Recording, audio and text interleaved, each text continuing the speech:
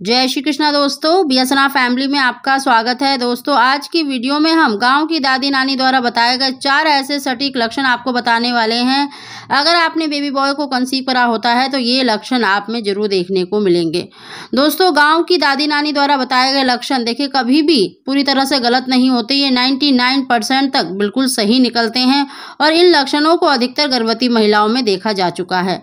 सबसे पहले लक्षण की बात करें तो दोस्तों, अगर आपका देखिए दूसरा या तीसरा महीना चल रहा है और आपको सुबह के समय मतलब जैसे ही आप कुछ खाते हैं, पीते हैं तो आपको उल्टियाँ नहीं होती हैं। यानी आपको बिल्कुल भी उल्टी नहीं हो रही, आप कुछ भी मतलब जैसे खा लेती हैं, यानी जी आपका नहीं घबराता है। खाने पीने में अगर आपको कोई भी दिक्कत नहीं हो रही है, दूसरे और तीसरे महीने में तो ये लक्षण देखिए लड़का होने का माना जाता है। अधिकतर हमारे जो बड़े बुज़ुर्ग हैं, इस लक्षण को सही मानते हैं। दोस्तों, अगर आपको सुबह के समय बहुत ज़्यादा जैसे उल्टियाँ हो रही हैं, आप कुछ भी खाते पीते हैं तो आपको उल्टी जैसा जी हो रहा है या उल्टी हो रही है तो ये साइन देखिए लड़की होने का माना जाता है। अगला लक्षण भी दोस्तों बहुत ही सटीक माना जाता है। अगर गर्भवती महिला के, देखिए, दूसरे या तीसरे महीने में चेहरे पर बहुत सारा बदलाव आपको देखने को मिलता है, जैसे चेहरे पर कील मुहासे आना या आपका चेहरा काला पड़ गया है या आपके चेहरे पर अनचाहे बालों की ग्रोथ बढ़ गई है तो ये साइन, देखिए, लड़का होने का माना जाता है। वहीं पर अगर आपके चेहरे पर कोई भी मतलब पिंपल्स, डार्क सर्कल्स नहीं है, आपका चेहरा पहले से ग्लो कर रहा है यानी आपकी सुंदरता बढ़ गई है तो ये लड़की होने का लक्षण माना जाता है और हमारे बड़े बुज़ुर्ग इस लक्षण को बहुत सही मानते हैं। अगला लक्षण, बहुत ही सटीक लक्षण है दोस्तों। इस लक्षण को देखिए 99 परसेंट तक सही माना जाता है। हमारे बड़े बुज़ुर्ग इस लक्षण को बिल्कुल सही मानते हैं। अगर गर्भवती महिला पूरी प्रेगनेंसी में ही, यानी पूरी प्रेगनेंसी के दौरान, अगर आपका मतलब तीसरा, चौथा कोई भी महीना चल रहा है, आप बहुत ज़्यादा अपने आप को एक्टिव महसूस करती हैं, यानी आपको थकावट महसूस नहीं होती है कोई भी काम करने में तो ये लक्षण देखिए, लड़का होने का ही माना जाता है।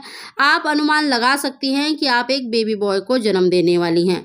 वहीं पर अगर आपको अपनी पूरी प्रेगनेंसी के दौरान बहुत ज़्यादा आलस आता है, नींद बहुत ज़्यादा आती है, कोई भी काम करने में आप जी चुराती हैं तो ये साइन देखिए लड़की होने का माना जाता है। दोस्तों, अगर आप पूरी प्रेगनेंसी में अपने आप को बहुत ही तरोताज़ा एक्टिव फील करती हैं, आपको चिड़चिड़ापन रहता है, यानी आपका मूड बार बार स्विंग करता है तो ये साइन देखिए लड़का होने का माना जाता है। वहीं पर अगर आपको आलस बहुत ज़्यादा आता है, नींद बहुत ज़्यादा आती है, कोई भी काम करने में आपका मन नहीं लगता है तो ये साइन देखिए हमारे बड़े बुज़ुर्गों का मानना है, लड़की होने पर मतलब गर्भवती महिला में दिखाई देते हैं, और ये लक्षण काफ़ी हद तक सही माना जाता है। अगला लक्षण है दोस्तों, वो है गर्भवती महिला के बालों से। देखिए प्रेगनेंसी के दौरान थोड़े बहुत बाल तो हर गर्भवती महिला के झड़ते हैं, लेकिन आपको दूसरे या तीसरे महीने में अगर आपके बाल तेज़ी से झड़ने लग गए, यानी आपके बाल बहुत ज़्यादा रूखे हो गए हैं, बहुत ज़्यादा टूट रहे हैं, बहुत ज़्यादा झड़ रहे हैं तो ये साइन देखिए, लड़की होने का माना जाता है। वहीं पर अगर आपका दूसरे तीसरे महीने में बाल बहुत कम झड़ रहे हैं, आपके बालों की ग्रोथ बढ़ गई है या आपके बालों की शाइन बढ़ गई है, आपके बाल पहले से घने हो गए हैं तो ये साइन देखिए, लड़का होने का माना जाता है।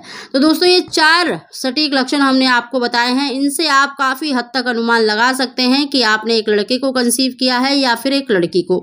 दोस्तों, अगर वीडियो पसंद आई हो तो इसको लाइक शेयर ज़रूर करें। आप सभी को